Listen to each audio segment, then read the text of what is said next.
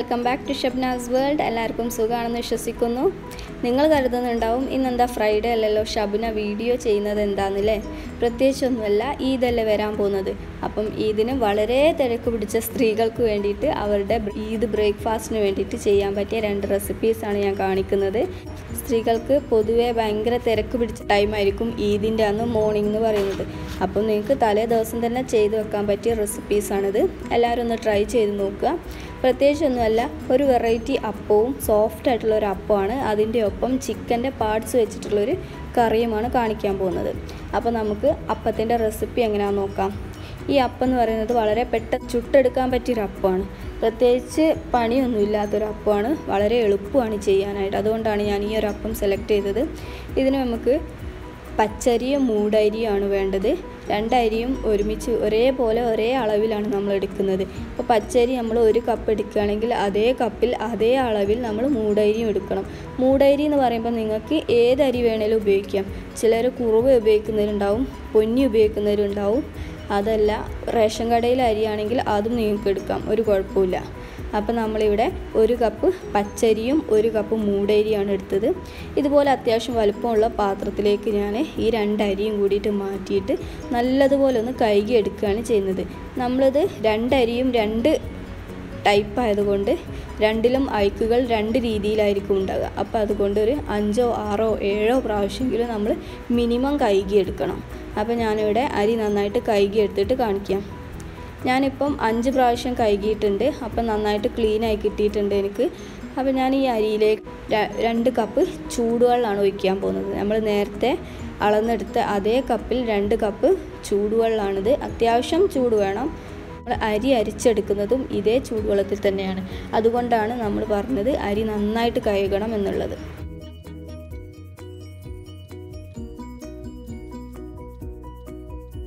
ഇനി ഇതിലേക്ക് അര ടേബിൾ സ്പൂൺ ഉഴുന്നാണിത് ഇതും കൂടി ചേർക്കുന്നുണ്ട്. ഓക്കെ അപ്പോൾ നമ്മൾ രണ്ടരിയും അര ടേബിൾ സ്പൂൺ ഉഴുന്നും ചേർത്തിട്ട് ചൂടുവെള്ളത്തിൽ വെച്ചിട്ടുണ്ട്. അങ്ങനെ അഞ്ച് മുതൽ ഏഴ് മണിക്കൂർ വരെ നമ്മളൊന്ന് വെയിറ്റ് ചെയ്യുക അതിന് ശേഷം നന്നായിട്ട് അരി പൊതിർന്നിട്ടുണ്ടാവും.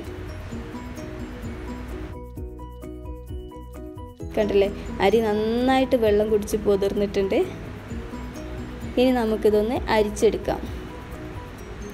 ഈ വെള്ളം കളയാൻ പാടില്ല. ഈ വെള്ളത്തിൽ തന്നെയാണ് നമ്മൾ അരിച്ചെടുക്കാൻ പോകുന്നത്. കടലരി നന്നായിട്ട് പൊതിർന്നിട്ടുണ്ട്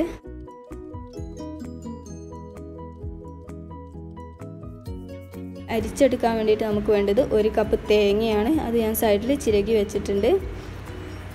ഇനി മിക്സിയുടെ ജാറിലേക്ക് ഫസ്റ്റ് ട്രിപ്പായിട്ട് അരിയും അല്പം വെള്ളവും അധികമാവാൻ പാടില്ല വെള്ളം. ഇത്ര തന്നെ എടുക്കാൻ പാടുള്ളൂ കേട്ടോ. അപ്പോൾ ഞാനത് അരിച്ചെടുത്തിട്ടുണ്ട്. First trip അരിച്ചെടുത്തിട്ടുണ്ട്. നമ്മൾ കൈകൊണ്ട് ഇങ്ങനെ ഒന്ന് ചെയ്ത് നോക്കുന്ന സമയത്ത് തീരെ ഒട്ടും തരി കാണരുത്. അപ്പോഴാണ് അതിന്റെ മാവ് നന്നായിട്ട് പൊങ്ങി വരുള്ളൂ ഇനി ഞാൻ വലിയൊരു പാത്രത്തിലേക്ക് മാറ്റിയിട്ട് അരിയൊക്കെ അരിച്ച് മാവ് എടുത്ത് വെക്കുന്ന പാത്രം തന്നെ സ്റ്റീലിന്റെതാകുന്നതായിരിക്കും എപ്പോഴും നല്ലത്. അപ്പോൾ ഞാൻ രണ്ടാമത്തെ ട്രിപ്പ് അരി ആഡ് ചെയ്തിട്ടുണ്ട്. മിക്സിയുടെ ജാറിലേക്ക് ഇതിന്റെ കൂടെ അര ടേബിൾ സ്പൂൺ പഞ്ചസാര ആഡ് ചെയ്തിട്ടുണ്ട്. ഇനി അതും കൂടി നമുക്ക് മാവിലേക്ക് മാറ്റാം. ഇനി നമ്മൾ തേങ്ങ അരിച്ചെടുക്കാൻ പോകുന്നത്. തേങ്ങ അരിച്ചെടുക്കുമ്പം അല്പം വെള്ളവും കൂടി ആഡ് ചെയ്യാം. നമുക്ക് നന്നായിട്ടൊന്ന് അരിച്ചെടുത്ത് അതും കൂടി കൂട്ടിലേക്ക് ഒഴിച്ചു. ഇനി നന്നായിട്ടൊന്ന് മിക്സ് ചെയ്യാം. തേങ്ങ എല്ലായിടത്തും എത്തുന്നവരേക്കൊന്ന് മിക്സ് ചെയ്യാം.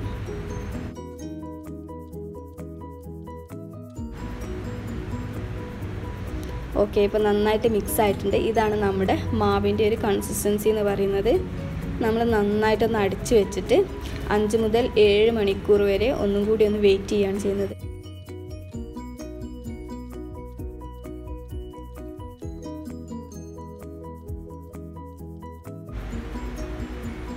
ഇപ്പം ഏഴ് മണിക്കൂറിന് ശേഷം എന്റെ മാവ് ഞാൻ കാണിക്കാം. കണ്ടില്ലേ? നന്നായിട്ട് പൊങ്ങിയിട്ടുണ്ട്. നിങ്ങൾക്ക് കാണുമ്പോൾ മനസ്സിലാവും. കണ്ടില്ലേ? നന്നായിട്ട് പൊങ്ങി വന്നിട്ടുണ്ട്. ഇനി നമ്മൾ ഒരു കയ്യിൽ മാവ് എടുത്തിട്ട് അതിലേക്ക് ആവശ്യത്തിനുള്ള ഉപ്പും ഒരു നുള്ള് സോഡാപ്പൊടി അതായത് അപ്പക്കാരവും കൂടി ചേർത്തിട്ട് നന്നായിട്ടൊന്ന് മിക്സ് ചെയ്യുകയാണ് ചെയ്യുന്നത്. ഇങ്ങനെ കയ്യിൽ വെച്ചിട്ട് മിക്സ് ചെയ്തിട്ട് ഡയറക്റ്റ് നമ്മൾ മാവിലേക്ക് ഒഴിക്കുക. എന്നിട്ട് ഒന്നും കൂടി ഒന്ന് കയ്യിൽ ഉപയോഗിച്ചിട്ട് നന്നായിട്ടൊന്ന് മൊത്തത്തിലൊന്ന് മിക്സ് ചെയ്യാം ഓക്കെ ഇത്രയും മതിയാവും. അധികം ഇളക്കാൻ പാടില്ല. കണ്ടില്ലേ നല്ല ബബിൾസ് കാണുന്നുണ്ട്. നിങ്ങൾക്ക് കാണാൻ പറ്റുന്നുണ്ടെന്ന് വിശ്വസിക്കുന്നു. ഇനി നമുക്കൊരു പാൻ അടുപ്പിൽ വെച്ച് ചൂടാക്കുക. അത്യാവശ്യം നല്ല ചൂടായിട്ട് വേണം നമ്മൾ മാവ് ഒഴിക്കാനായിട്ട്. ഇതുപോലെ ഒരു തവി മാവ് ഒഴിക്കുക. എന്നിട്ട് അടിച്ചു വെച്ചിട്ട് രണ്ട് സെക്കൻഡ് നേരത്തേക്കൊന്ന് വേവിക്കുക. പെട്ടെന്ന് വെന്ത് കിട്ടും. ഇപ്പം നമ്മുടെ അപ്പം വെന്തിട്ടുണ്ട്.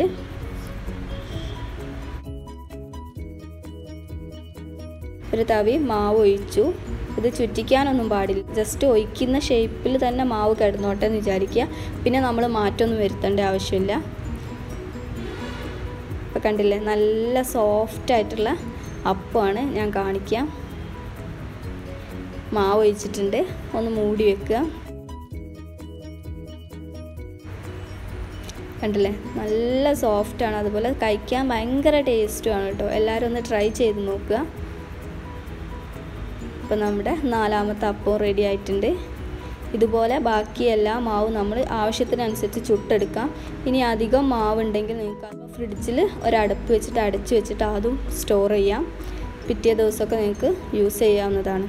അപ്പോൾ നമ്മുടെ എല്ലാ അപ്പവും ഞാൻ ചുട്ടെടുത്തിട്ടുണ്ട്. നല്ല സോഫ്റ്റാണ് നല്ല ടേസ്റ്റുമാണ് ഇതിന്റെ കൂടെ നിങ്ങൾക്ക് ചിക്കൻ കറിയോ ബീഫ് കറിയോ മീൻ കറിയോ എല്ലാം ഉപയോഗിക്കാം. ഒരു കുഴപ്പമില്ല. എല്ലാം നല്ല സ്യൂട്ടബിളാണ് ഇവിടെ ഞാൻ ചിക്കന്റെ പാർട്സ് വെച്ചിട്ടാണ് കറി ചെയ്യാൻ പോകുന്നത്. അപ്പോൾ നിങ്ങൾ ഇതിന്റെ ബ്രേക്ക്ഫാസ്റ്റിന് വേണ്ടിയിട്ടാണ് ഇത് ചെയ്യാൻ ഉദ്ദേശിക്കുന്നതെങ്കിൽ തലേ ദിവസം ഉച്ചയ്ക്ക് അരിയും ഉഴുന്നും കൂടിയിട്ട് വെള്ളത്തിലിട്ട് വെക്കുക. ഈവനിങ്ങിലോ അല്ലെങ്കിൽ രാത്രിയിലോ നന്നായിട്ടൊന്ന് തേങ്ങയും ചേർത്ത് അരച്ച് വെക്കുക. അതിനുശേഷം നമ്മൾ രാവിലെ ചുട്ടെടുത്താൽ മതിയാവും. അതല്ല ഇനി നിങ്ങൾക്ക് നോമ്പ് തുറയുടെ സമയത്തേക്ക് ഉണ്ടാക്കുകയാണെങ്കിൽ നിങ്ങൾ രാത്രി സമയം അരി വെള്ളത്തിലിട്ട് വെക്കുക അതിനുശേഷം പുലർച്ചെ നമ്മൾ എണീക്കുന്ന സമയത്ത് അത്തായത്തിന് വേണ്ടിയിട്ട് എണീക്കുന്ന സമയത്ത് നന്നായിട്ട് തേങ്ങയും കൂട്ടിയിട്ടൊന്ന് അരച്ച് വെക്കുക. ശേഷം ഈവനിങ്ങിൽ നിങ്ങൾക്ക് ഏത് സമയത്താണോ ചുട്ടെടുക്കേണ്ടത് ആ സമയമാകുമ്പം ചുട്ടെടുത്താലും മതിയാവും. എല്ലാവരും ഒന്ന് ട്രൈ ചെയ്ത് നോക്കൂ. നമുക്ക് അടുത്ത റെസിപ്പിയായ ചിക്കന്റെ പാർട്സ് വെച്ചിട്ടുള്ള കറിയുടെ റെസിപ്പി നോക്കാം. വളരെ പെട്ടെന്ന് ചെയ്യാൻ പറ്റിയ റെസിപ്പിയാണിത്. നിങ്ങൾക്ക് ഇതിന്റെ അന്ന് രാവിലത്തേക്കാണ് വേണ്ടതെങ്കിൽ തലേ ദിവസം തന്നെ നമുക്കിത് കുക്കറിൽ വേവിച്ച് വെക്കാൻ പറ്റുന്ന റെസിപ്പിയാണ്. അപ്പോൾ നമുക്ക് ഇതിന് വേണ്ടിയിട്ടുള്ള ഇൻഗ്രീഡിയൻസ് എന്തൊക്കെയാണെന്ന് നോക്കാം. ആദ്യം വേണ്ടത് ചിക്കന്റെ പാർട്സാണ് എഴുന്നൂറ്റി അമ്പത് ഗ്രാം ചിക്കന്റെ പാർട്സാണിത് നന്നായിട്ട് കഴുകി പീസ് പീസാക്കി കട്ട് ചെയ്ത് വെച്ചതാണിത്.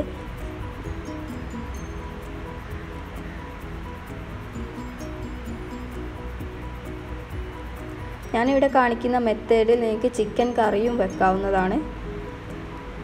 ആദ്യം വേണ്ടത് സവാളയാണ്. സവാള രണ്ട് വലിയ സവാളയാണ്. നീളത്തിൽ കനം കുറച്ച് അരിഞ്ഞു വെച്ചതാണിത്. പിന്നെ വേണ്ടത് ഉലുവ അല്പം കറിവേപ്പില.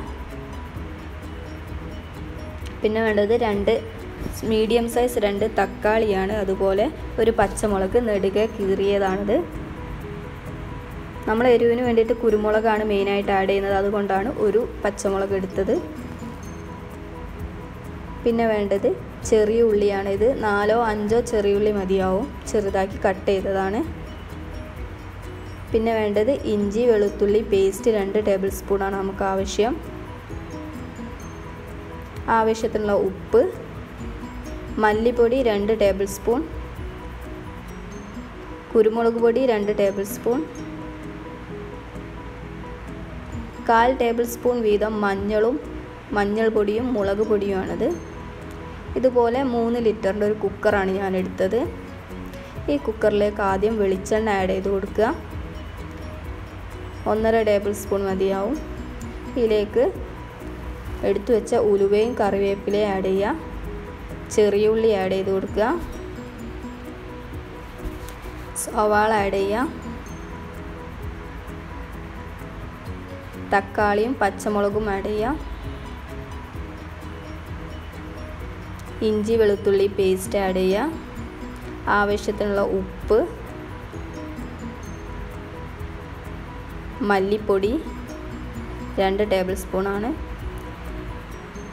കുരുമുളക് പൊടി രണ്ട് ടേബിൾ സ്പൂൺ മഞ്ഞൾപ്പൊടിയും മുളക് പൊടിയും കാൽ ടേബിൾ സ്പൂൺ വീതമാണിത്. ഇതും കൂടി ആഡ് ചെയ്ത് കൊടുക്കുക. അര കപ്പ് വെള്ളം കൂടി ആഡ് ചെയ്യുക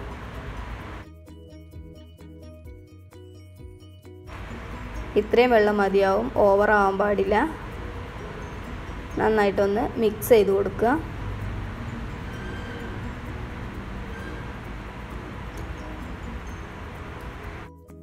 ഓക്കെ ഇത്രയും വെള്ളം നമുക്ക് പറ്റു ആവശ്യമായിട്ടുള്ളൂ നമുക്ക് കുക്കറൊന്ന് അടിച്ച് വെച്ചിട്ട് രണ്ട് വിസിൽ വരുന്നവരേക്കൊന്ന് വേവിച്ചെടുക്കാം.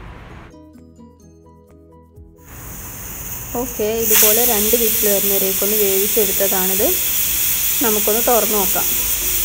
നന്നായിട്ട് ആവി പോയതിന് ശേഷം വേണം നമ്മൾ തുറക്കാനായിട്ട്.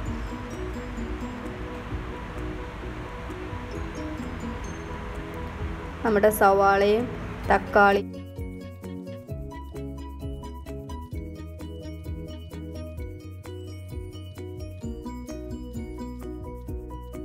എല്ലാം നന്നായിട്ട് വയന്നിട്ടുണ്ട് നല്ല സോഫ്റ്റ് ആയിട്ടുണ്ട്. കണ്ടില്ലേ? നന്നായിട്ട് സോഫ്റ്റ് ആയിട്ടുണ്ട്. ഇനി നമുക്കിതിലേക്ക് എടുത്തു വെച്ച പാർട്സും കൂടി ആഡ് ചെയ്യാം. ചിക്കന്റെ പാർട്സും കൂടിയിട്ട് ആഡ് ചെയ്തിട്ട് നന്നായിട്ട് ഒന്നും കൂടി ഒന്ന് മിക്സ് ചെയ്ത് കൊടുക്കാം.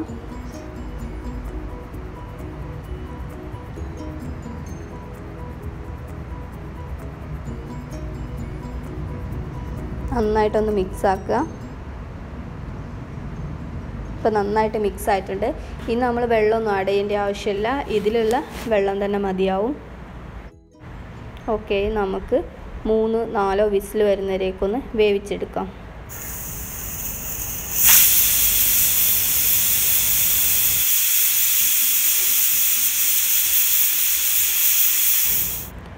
ഓക്കെ ഇപ്പം നന്നായിട്ട് വെന്തിട്ടുണ്ട് മൂന്ന് വിസിൽ വരെയാണ് ഞാൻ വെയിറ്റ് ചെയ്തത്. നമുക്കൊന്ന് തുറന്ന് നോക്കാം. ഓക്കെ അടിപൊളിയായിട്ട് വെന്തിട്ടുണ്ട്. അത്യാവശ്യം നല്ല ഗ്രേവിയും ആയിട്ടുണ്ട്. കണ്ടില്ലേ? നന്നായിട്ട് വെന്തിട്ടുണ്ട്. നമുക്കൊന്ന് സെർവ് ചെയ്യാം. ഇതുപോലെ ഒരു ബൗൾ എടുത്തിട്ടുണ്ട്. അതിലേക്ക് ഞാൻ പാർട്സ് കറി ആഡ് ചെയ്യാണ്.